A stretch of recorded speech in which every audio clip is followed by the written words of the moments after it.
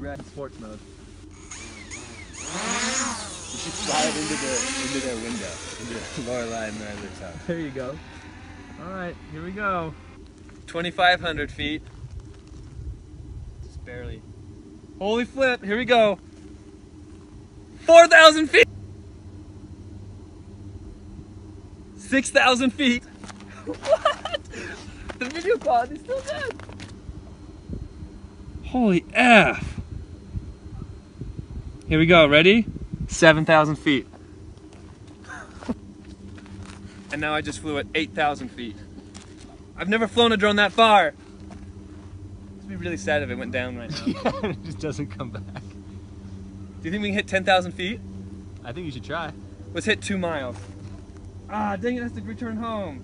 Too far. How, how far was it? 8,700 feet. Woo. But it's not telling me to come home because it lost signal. Because it needs the battery to come back. No, 8,733 feet away. That is messed up. You're still going out? I'm still going out. I want 9,000 feet. I need 10,000. I need 10,000. I need it.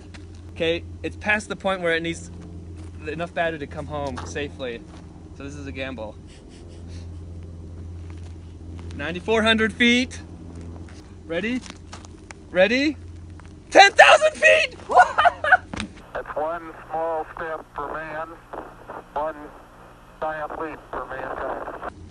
come home quickly. The battery. Five minutes left. I promise it was at 10,000 feet. It just dropped below 9,000 because we're coming back. Woo! Low battery warning. Oh, no. It's still 8,000 feet away. 4,000 feet with two minutes left. Here we go. Come on. Oh, I see it. Sport mode. Yes, it's sport mode. Oh, a minute 49. 3,500 feet to go. Come on! Oh, this is gonna be so bad. We got this. We got this. I'm not worried. I'm not worried. I'm not worried. I'm not worried.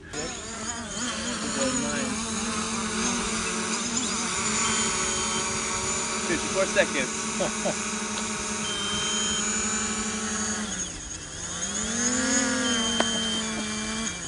Boom!